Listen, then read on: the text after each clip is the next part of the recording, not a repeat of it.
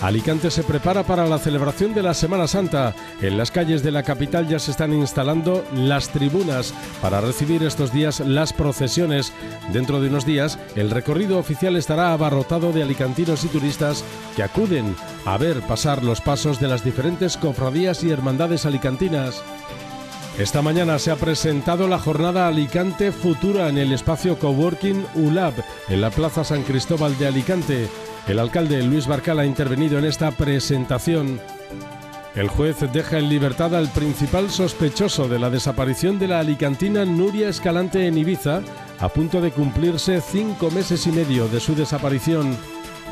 Harry Potter de Exhibition viene a la comunidad valenciana para ofrecer a los fans otra oportunidad para ver algunos de los icónicos escenarios de las películas de Harry Potter y lo hace en el Museo de las Ciencias de la Ciudad de las Artes y las Ciencias de Valencia. La exposición se podrá visitar a partir de este sábado 13 de abril.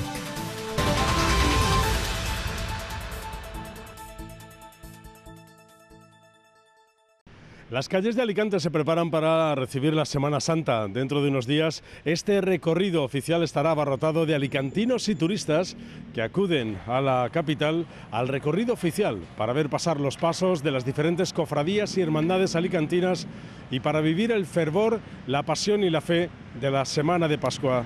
La Semana Santa Alicantina tiene características muy especiales que la diferencian de otras. Las procesiones marcan el ritmo de cada día y despiertan el fervor de las personas que esperan estas fechas de recogimiento, de paz y de reflexión.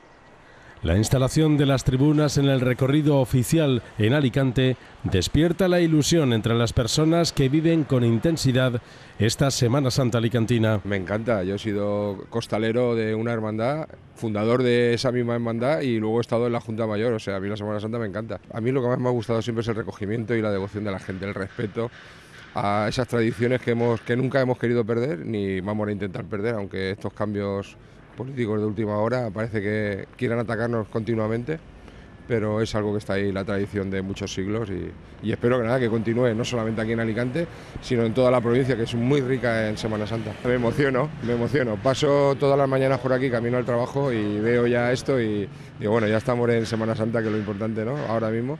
Y nada, me, me alegro mucho, me alegro y además veo que este año ha crecido la, ha crecido las instalaciones, lo cual quiere decir que va a ser mayor la repercusión y la llegada de, turistas, porque al final esto es también crear riqueza y, bienestar a la ciudad de Alicante. Y con más y con más, porque ese año estoy viendo que están poniendo más cosas. O sea que muy bien. Me parece muy bien, sí. Además participa mi hija en una de las procesiones y muy bien, con mucha ilusión. ¿Qué significa para usted la Semana Santa? Pues nada, un sentimiento muy bueno un sentimiento. Soy católica, cristiana y muy bien. Sí, bueno, me parece que da mucho ambiente Alicante, cada vez se está viviendo más la Semana Santa y me parece bueno para la ciudad y para... ¿Qué significa para ti la Semana Santa? Bueno, si eres eh, católico, que yo soy católico, pues significa un periodo de reflexión y luego, eh, pues al final, mm, lo que significa para los católicos.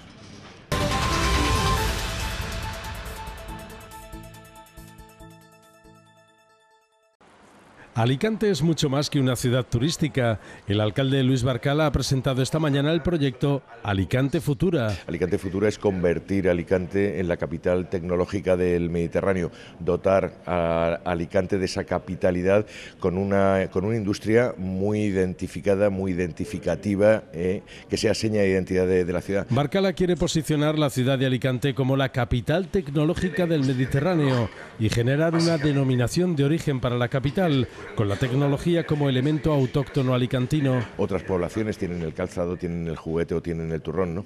Alicante puede, estamos en el momento perfecto para eh, atraer a esas industrias tecnológicas y que Alicante se convierta en ese polo de atracción, ese centro neurálgico de la industria tecnológica, no solo en la provincia, sino para, para todo el arco mediterráneo. Y es que la capital alicantina no es solo una ciudad de servicios, aunque su cualidad turística es un valor añadido para potenciar el liderazgo tecnológico. Se dan ahora las condiciones perfectas. Alicante no solo tiene el clima, que viene muy bien para esto, no solo tiene unas infraestructuras y una, y una dimensión ubicación eh, más que adecuada y por eso están apostando las grandes empresas por, por la ciudad de Alicante. Desde el Ayuntamiento de Alicante están convencidos de que ahora es el momento, ya que confluyen distintos valores que suman fuerzas, como la capitalidad gastronómica, el turismo y la estabilidad del tejido empresarial.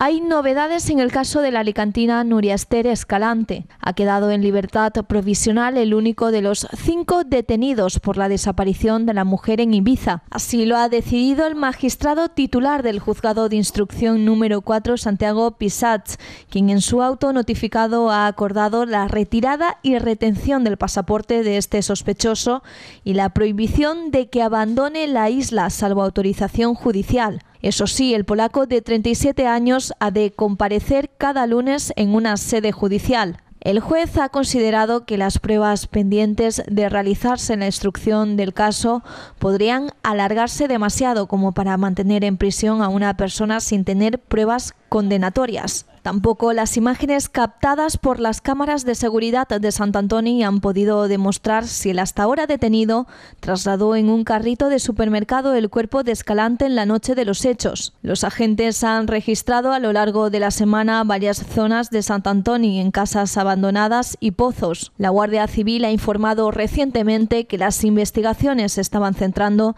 en el entorno de la Alicantina cuando llegó a la isla.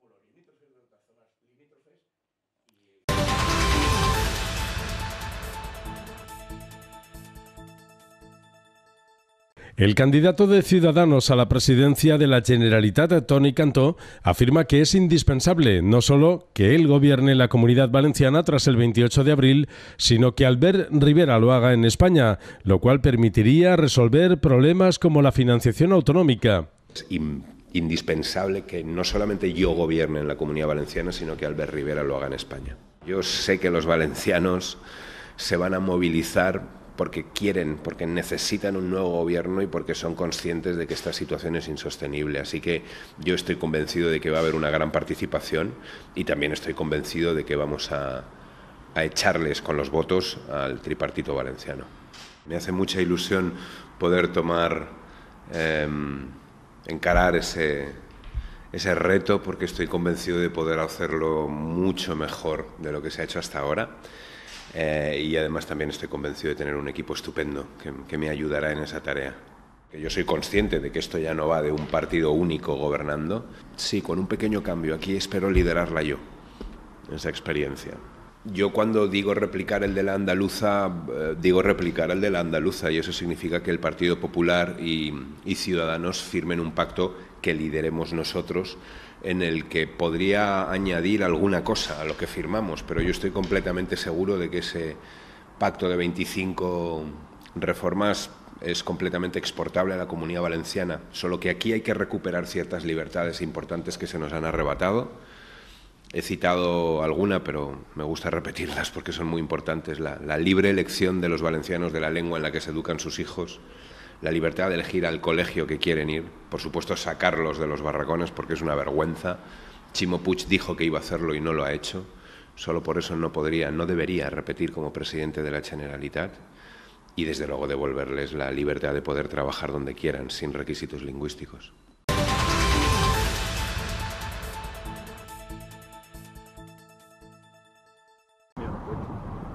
Los padres del presunto asesino de su pareja, una mujer moldava vecina de Vinaroz y cuyo cadáver fue localizado con signos de violencia el pasado domingo, enterrado en un descampado de Tecón en Tarragona, están detenidos por encubrimiento y han declarado ante la policía y van a pasar a disposición judicial. En total, cinco personas han sido detenidas por este crimen. Dos de ellas han quedado en libertad con la obligación de comparecer una vez al mes en el juzgado en principio no se prevén más detenciones. El lunes ingresaba en prisión el presunto asesino de 22 años y nacionalidad rumana tras confesar el asesinato e indicar a la policía que el cuerpo de su pareja sentimental de 26 años estaba enterrado en un descampado de la localidad tarraconense de Uldecona. La joven, que vivía con su presunto asesino en Vinarós, a 20 kilómetros de donde fue localizado su cadáver, había desaparecido el pasado mes de febrero.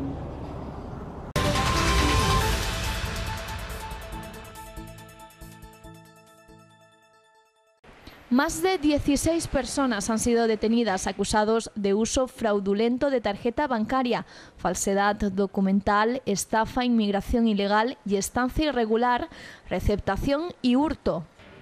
La Policía Nacional y el Servicio Secreto de Estados Unidos ha desarticulado con la detención de 16 personas en diferentes provincias españolas, entre las que se encuentran Castellón y Valencia, de un grupo que presuntamente utilizaba tarjetas de crédito bancarias hackeadas para introducir a ciudadanos colombianos a España de forma ilegal. Esta banda defraudó más de 250.000 euros.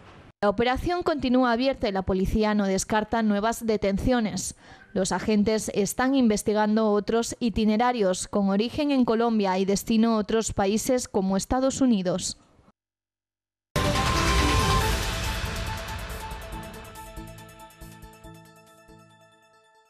Las cuatro personas que están siendo juzgadas están acusadas de poner a disposición de usuarios de Internet el acceso a material audiovisual protegido por los derechos de autor a través de la página Series Junkies, donde ofrecían la descarga de series de televisión y películas de manera gratuita y sin abonar los correspondientes derechos de autor a sus propietarios estos días se desarrolla en Murcia el juicio contra los cuatro acusados de poner a disposición de usuarios de Internet el acceso a material audiovisual protegido por los derechos de autor a través de la página Series Junkies. Este es el juicio contra una de las mayores páginas de piratería de cine y de series de televisión, que operaba en Internet desde páginas creadas en España y que causó perjuicios de hasta 546 millones de euros, según la entidad de gestión de los derechos de los productores audiovisuales y de 9,5 millones de euros, según la Federación Antipiratería.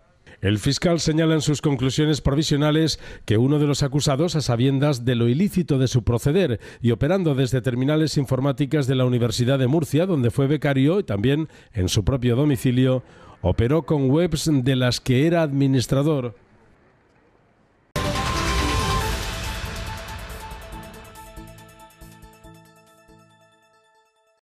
Cuatro universidades públicas españolas y cuatro rusas han sellado en Moscú una alianza de cooperación académica sin precedentes, en presencia de la secretaria de Estado de Universidades de Investigación, Desarrollo e Innovación de España, Ángeles Heras. Y hemos venido para dar oficialidad a este acuerdo entre cuatro universidades españolas y cuatro universidades rusas. A la ceremonia de firma del memorándum han asistido los rectores de las universidades firmantes Carlos III de Madrid, Universidad de Valencia, Universidad Rovira y Virgili y Universidad de Oviedo.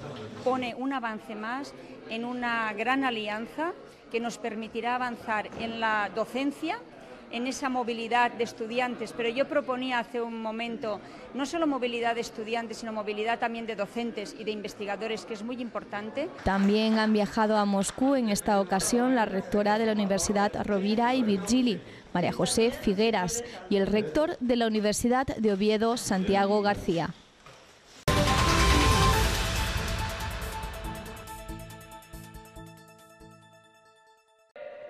Jóvenes murcianos se convierten en los campeones del espíritu emprendedor.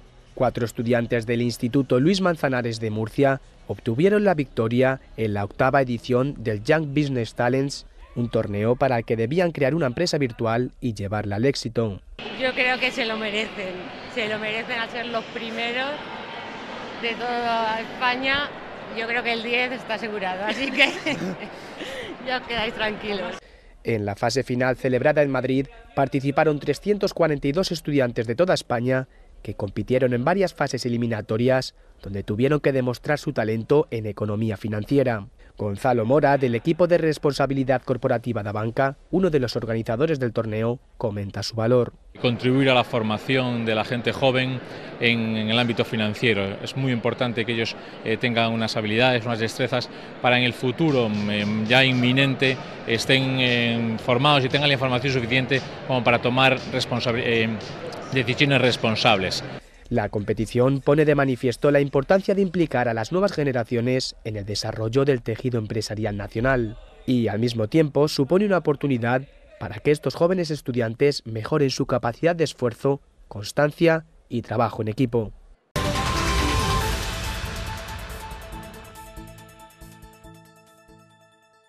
Harry Potter The Exhibition vuelve a nuestro país y en concreto a Valencia. Esta exposición que estuvo en Madrid en 2017 recibió más de 460.000 visitantes en solo cuatro meses. Los que se acerquen podrán disfrutar de los escenarios inspirados en los decorados de Hogwarts que aparecen en las películas, además del vestuario oficial, el adrezzo y las criaturas fantásticas originales de la película. Los visitantes podrán admirar a partir del 13 de abril en el Museo de las Ciencias de la Ciudad de las Artes y las Ciencias de Valencia cientos de objetos y artefactos utilizados en las películas de Harry Potter, así como disfrutar de los escenarios inspirados en los decorados de la filmografía.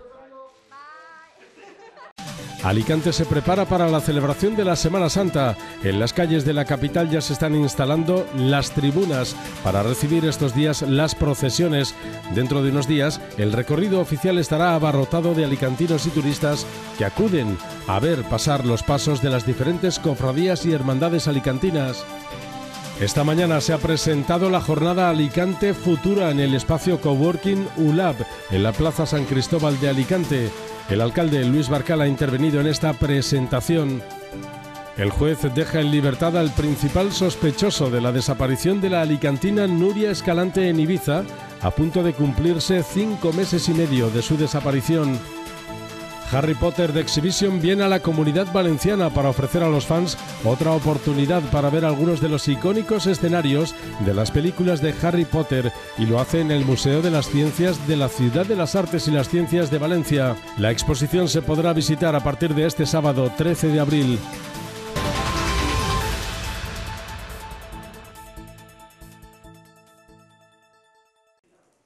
José Enrique Abuin, el chicle, el presunto asesino de Diana Kerr, en el banquillo por el intento de rapto de otra joven.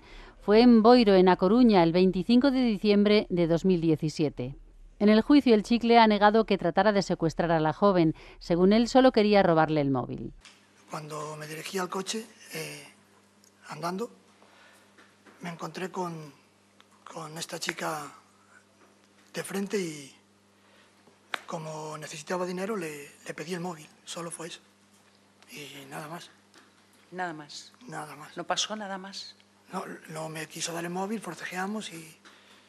La mujer ha explicado cómo el chicle intentaba introducirla en el maletero del coche.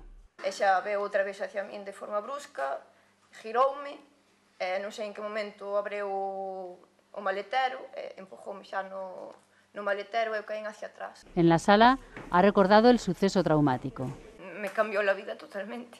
Yo era una persona súper sociable, salía todos los fines de semana, estaba con mis amigos y ahora apenas salgo de casa, eh, apenas hablo con mis amigos, poco.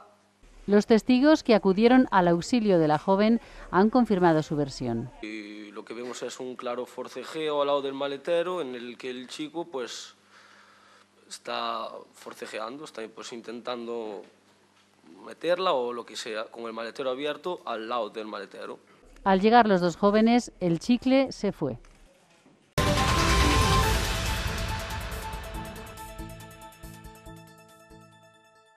El presidente de Puertos de Estado de España, Salvador de la Encina, ha afirmado este miércoles que el turismo de cruceros es muy importante para la economía española, por los empleos y la riqueza que genera. De la Encina ha destacado la cifra de 10,1 millones de pasajeros de cruceros que visitaron España en 2018 y considera factible llegar a los 12 millones este año.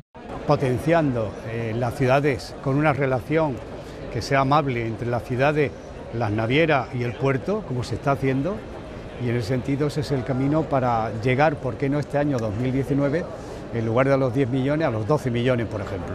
El presidente de Puertos del Estado hizo hincapié en que el turismo de cruceros está en auge y España es un mercado consolidado, como demuestra el hecho de que en 2020 Málaga vaya a acoger la feria Seated Cruise del Mediterráneo.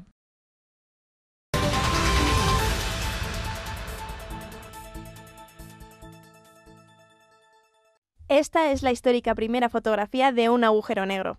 Es el resultado de un proceso colaborativo entre científicos de todo el planeta, trabajando desde varios telescopios distribuidos por la superficie terrestre que juntos crean un único gran telescopio del tamaño de la Tierra, a través de lo que denominan interferometría de muy larga base. Solo han sido necesarios 6 metros cúbicos de discos duros que recopilan ondas y datos para generar la imagen de alta resolución. ¿Pero qué es exactamente un agujero negro? Así lo explica el investigador del CSIC, José Luis Gómez. Los agujeros negros son eh, objetos eh, de una masa tan grande que la curvatura que produce en el espacio-tiempo es tan grande que llega a producir una especie de rasgadura, un agujero en el espacio-tiempo. Ese agujero o singularidad, como la llamamos en, física, está rodeada por el horizonte de sucesos, que es una región en donde la gravedad es tan grande que ni siquiera la luz puede escapar. Es una región completamente oscura, completamente carente de luz. El hecho de que el agujero no tenga ningún tipo de luz implica que la foto es de la sombra de este y que el color que apreciamos representa la materia que este fenómeno atrae a su interior. Este acontecimiento permitirá grandes avances en la ciencia, pero tan solo el proceso tecnológico creado para este proyecto ha permitido ya avanzar en áreas que van desde la geolocalización hasta la medicina. Esto pues, es como ver para creer, ¿no? Eh, obtener esa primera imagen pues, ha sido un sueño de muchos desde hace muchísimos años y justo 100 años después de del desarrollo de la teoría de la relatividad de Einstein, por fin podemos tener esa primera imagen. La imagen corresponde al agujero negro supermasivo ubicado en el centro de la galaxia M87, a 53,3 millones de años luz de nosotros, aunque los responsables del hallazgo se plantean llamarle Poweji, que significa fuente oscura embellecida de creación permanente en hawaiano.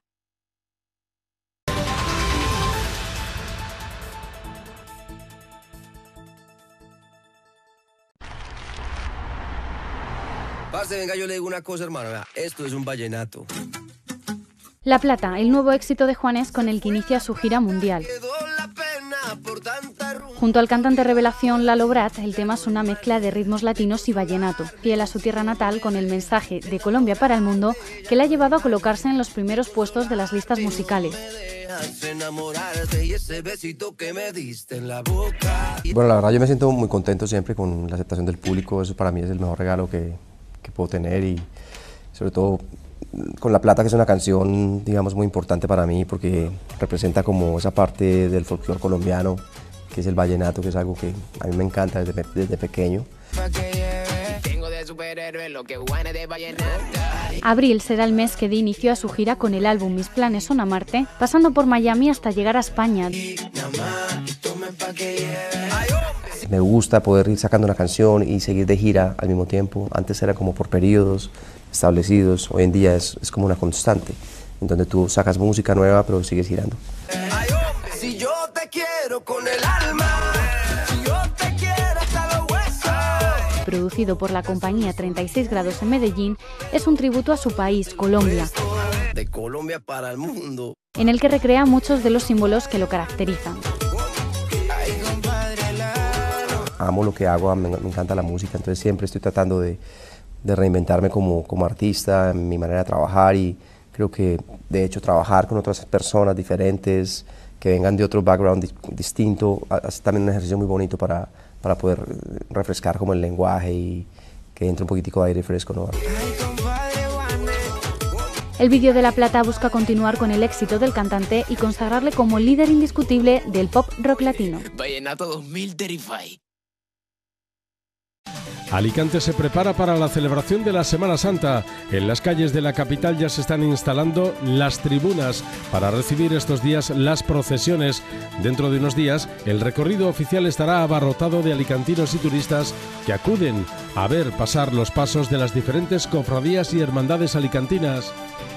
Esta mañana se ha presentado la jornada Alicante Futura en el espacio Coworking ULAB en la Plaza San Cristóbal de Alicante. El alcalde Luis Barcal ha intervenido en esta presentación. El juez deja en libertad al principal sospechoso de la desaparición de la alicantina Nuria Escalante en Ibiza, a punto de cumplirse cinco meses y medio de su desaparición. Harry Potter de Exhibition viene a la comunidad valenciana para ofrecer a los fans otra oportunidad para ver algunos de los icónicos escenarios de las películas de Harry Potter y lo hace en el Museo de las Ciencias de la Ciudad de las Artes y las Ciencias de Valencia. La exposición se podrá visitar a partir de este sábado 13 de abril.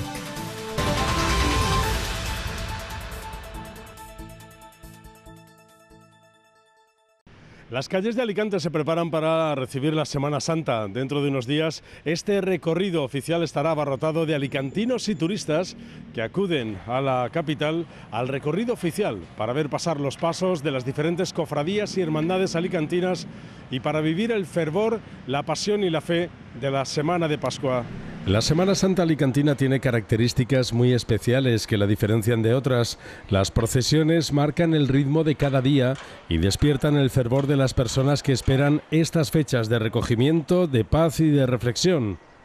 La instalación de las tribunas en el recorrido oficial en Alicante despierta la ilusión entre las personas que viven con intensidad esta Semana Santa Alicantina. Me encanta, yo he sido costalero de una hermandad, fundador de esa misma hermandad y luego he estado en la Junta Mayor, o sea, a mí la Semana Santa me encanta. A mí lo que más me ha gustado siempre es el recogimiento y la devoción de la gente, el respeto a esas tradiciones que, hemos, que nunca hemos querido perder ni vamos a intentar perder, aunque estos cambios políticos de última hora parece que quieran atacarnos continuamente, pero es algo que está ahí, la tradición de muchos siglos y, espero que nada, que continúe, no solamente aquí en Alicante, sino en toda la provincia, que es muy rica en Semana Santa. Me emociono, me emociono. Paso todas las mañanas por aquí, camino al trabajo y veo ya esto y digo, bueno, ya estamos en Semana Santa, que es lo importante, ¿no? Ahora mismo.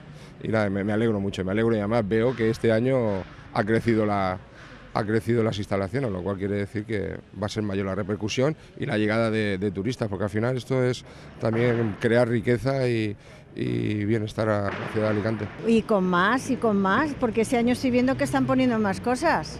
O sea que muy bien. Me parece muy bien, sí. Además participa mi hija en una de las procesiones y muy bien, con mucha ilusión. ¿Qué significa para usted la Semana Santa? Pues nada, un sentimiento muy bueno un sentimiento. Soy católica, cristiana y muy bien. Sí, bueno, me parece que da mucho ambiente Alicante, cada vez se está viviendo más la Semana Santa y me parece bueno para la ciudad y para... ¿Qué significa para ti la Semana Santa? Bueno, si eres eh, católico, que yo soy católico, pues significa un periodo de reflexión y luego, eh, pues al final, mm, lo que significa para los católicos.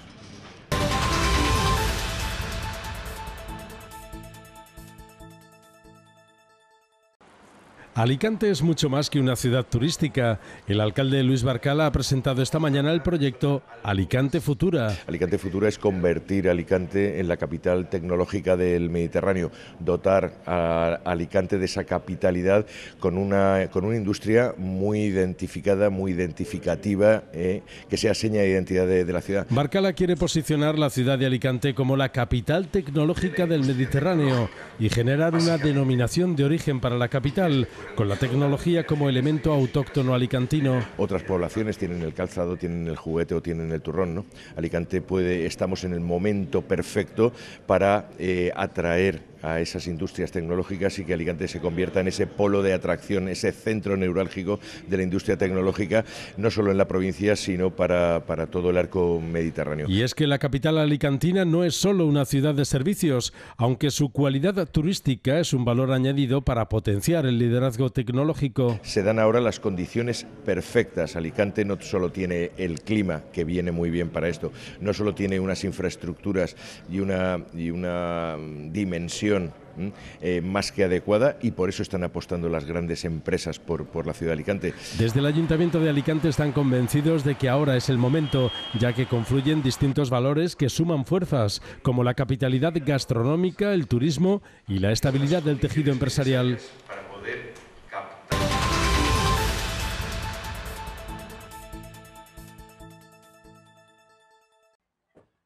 Hay novedades en el caso de la alicantina Nuria Esther Escalante. Ha quedado en libertad provisional el único de los cinco detenidos por la desaparición de la mujer en Ibiza. Así lo ha decidido el magistrado titular del juzgado de instrucción número 4, Santiago Pisats, quien en su auto notificado ha acordado la retirada y retención del pasaporte de este sospechoso y la prohibición de que abandone la isla salvo autorización judicial. Eso sí, el polaco de 37 años ha de comparecer cada lunes en una sede judicial. El juez ha considerado que las pruebas pendientes de realizarse en la instrucción del caso podrían alargarse demasiado como para mantener en prisión a una persona sin tener pruebas condenatorias. Tampoco las imágenes captadas por las cámaras de seguridad de Sant Antoni han podido demostrar si el hasta ahora detenido trasladó en un carrito de supermercado el cuerpo de Escalante en la noche de los hechos. Los agentes han registrado a lo largo de la semana varias zonas de Sant Antoni en casas abandonadas y pozos. La Guardia Civil ha informado recientemente que las investigaciones se estaban centrando en el entorno de la Alicantina cuando llegó a la isla.